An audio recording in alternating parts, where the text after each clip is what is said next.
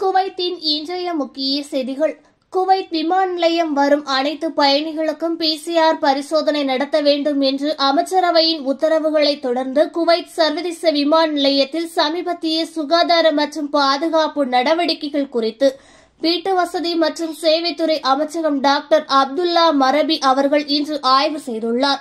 பயணிகளின் பிசிஆர் பரிசோதனை உறுதி செய்யும் பொறுப்பு விமான நிலையங்களுக்கு பதிலாக விமான நிறுவனங்களுக்கு வழங்கப்படும் என்றும் கூறப்பட்டுள்ளது.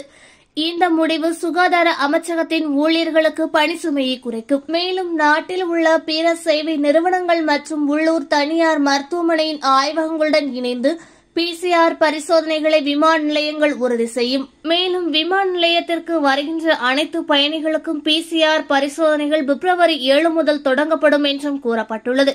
விமான நிலையத்தில் ஆறு பரிசோதனை நிலையங்களும் செயல்படுத்தப்படுகிறது. குவைத் சர்வதேச விமான நிலையம் வழியாக ஒரு பயணியின் இருவழி பயணத்திற்கு மொத்தம் ஐந்து தினார்கள் சேவை கட்டணமாக செலுத்த வேண்டும். இந்த புதிய அறிவிப்பு அடிப்படையில் புறப்படும் ஒவ்வொரு பயணிகளிடமிருந்தும் நீங்கள் விமான பயணச்சீட்டு எடுக்கும் நேரத்தில் கட்டணத்துடன் சேர்ந்து கூடுதலாக மூன்று தினார்கள் வசூலிக்கப்படும் என்றும் வீட்டு வசதி மற்றும் சேவை விவகாரங்களுக்கான அமைச்சர் டாக்டர் அப்துல்லா மரபி அவர்கள் அறிக்கையில் தெரிவித்துள்ளார். இந்த தொகையானது விமான நிலைய பயணிகளுக்கான சேவை மற்றும் செயல்பாட்டு கட்டணமாக வசூலிக்கப்படும் என்றும் கூறப்பட்டுள்ளது.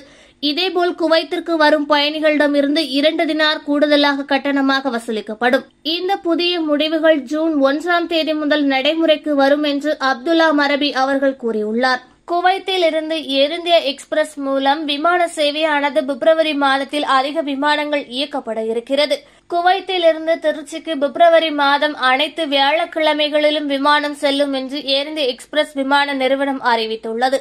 இதற்கான விமான டிக்கெட்களை ஏர் இந்தியா எக்ஸ்பிரஸ் இணையதளம் மூலமாகவோ அல்லது பயண முகவர்கள் மூலமாகவோ பெற்றுக்கொள்ளலாம் என்றும் கூறப்பட்டுள்ளது.